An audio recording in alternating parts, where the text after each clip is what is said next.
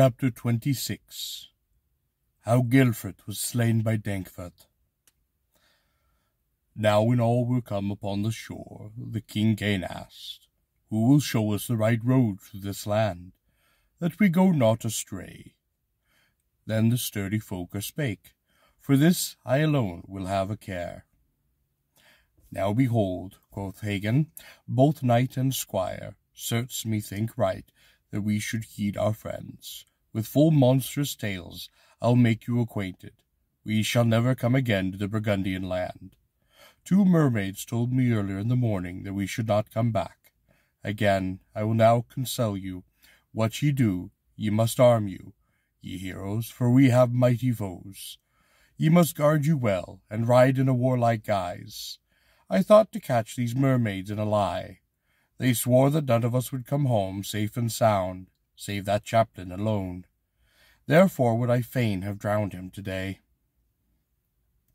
These tidings flew from band to band, and valiant heroes grew pale from woe, as they began to fear a gruesome death on this journey to Etzel's court.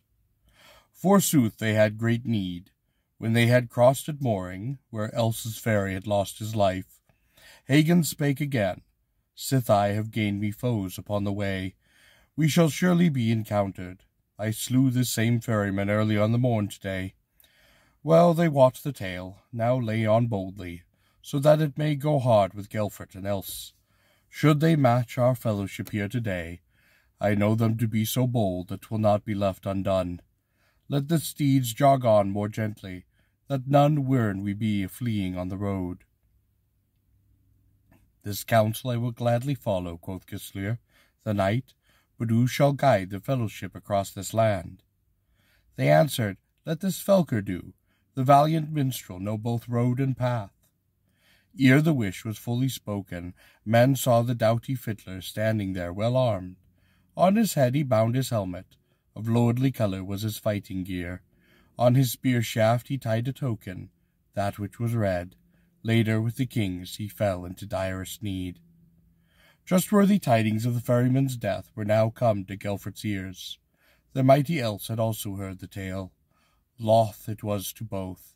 They sent to fetch the heroes, who soon stood ready, and in a passing short time, as I'll let you hear, one saw riding towards them those who had wrought scathe and monstrous wounds in mighty battles. Full seven hundred or more were come to Gelfrat, and when they began to ride after their savage foes, their lords did lead them. Of a truth, a deal too strong they hasted after the valiant strangers. They would avenge their wrath, therefore many of the lordling's friends were later lost. Hagen of Troneg had well planned it, how might a hero ever guard his kinsman better, that he had in charge the rear guard, with his liegeman and his brother Dankwart. This was wisely done. The day had passed away, the night was come. For this his friends he feared both harm and woe, as beneath their shields they rode to the Bavarian land. A short time thereafter the heroes were assailed, and on either side of the highway, and in the rear hard by the herd, the beat of hoofs. Their foes pressed on too hard. Then spake Hold Dankwart. They propose to attack us here, so hind on your helmets, for that be well to do. They stayed their journey, as though it might must needs be, and in the gloom they spied the gleam of the shining shields. Hagen would no longer keep his peace, and he called, Who chaseth us upon the highway? To this Gelfrat must needs give answer, and quoth the Margrave of Bavaria, We seek our foes, and have galloped on behind you. I know not who slew my ferryman today, but it doth rue me enow, for he was a hero of his hands. Then spake Honig, Hagen of Troneg, And was then the ferryman thine? The fault was mine. He would not ferry us over, so I slew the knight. Forsooth I had great need, for I had sheer gained at his hands my death. As meed I offered him gold and trappings, that he ferry me across to thy land, Sir Knight. This angered him so greatly that he smote me with a mighty oar and at this waxed grim enow, I seized my sword and fended him his anger with a grievous wound. Thus this hero met his death. I'll make amends as doth think thee best. While I wist, spake Gelfrat, when Gunther and his fellowship rode hither, that Hagen of Troneg would do us harm. Now he shall not live. The knight must stand for the ferryman's life. Over the bucklers, Gelfrat and Hagen crouched their spears for the thrust, and each would charge the other. Else and Dankwart rode full gloriously. They tested who they were. Fierce was this fight. How might heroes ever prove each other better? From a mighty thrust Hagen was unhorsed by Gelfrat's hand, and his martingale snapped. He learnt what it was to fall, and the crash of shafts resounded from their fellowship. Hagen, who from the thrust afore had come to earth, down upon the grass, sprang up again. I trow he was not gentle of mood towards Gelfrat then, who held their steeds. I would not. Both Hagen and Gelfrat had alighted on the sand and rushed together. Their fellowship helped thereby, and became acquainted with strife. Albeit Hagen sprang at Gelfrat fiercely, the noble Margrave smote from his shield a mickle piece, so that the sparks did flew wide. Full nigh did Gunther's liegeman die therefrom. He began to call to Dankwart, O help, dear brother, certes a hero of his hands hath matched me, he will not spare my life. At this hold, Dankwart spake, I will play the umpire here. The hero then sprang nearer, and with sharp sword smote Gelfrat such a blow that he fell down dead. Else then would fain avenge the knight, but he and his fellowship parted from the fray with scathe. His brother had been slain, he himself was quite wounded, and full eighty of his knights remained with grim death behind upon the field. Their lord must needs turn in flight from Gunther's men. When those from the Bavarian land gave way, and that fled, one heard the savage blows resound behind them. Those of Troneg chased their foes, for they were in passing haste, who had not weened to make amends. Then spake out Dankwart, the knight in their pursuit. Let us turn soon on this road, and let them ride, or they be wot with blood. Haste we to our friends, this I advise you of a truth. When they were come again, where the scathe had happed, Hagen of Troneg spake, Heroes, prove now what doth fall us here, or whom we have lost in the strife through Gelfrat's wrath for they had lost them who they must needs bewall, but they had been paid for dearly. For them a hundred or better from the Bavarian land were slain. From their blood the shields of the men of Troneg were dimmed and wetted. Through the clouds there partly broke the gleam of the shining moon. And as Hagen spoke again, Let none make known to my dear lords that we have wrought here today. Let them rest without care until the morn.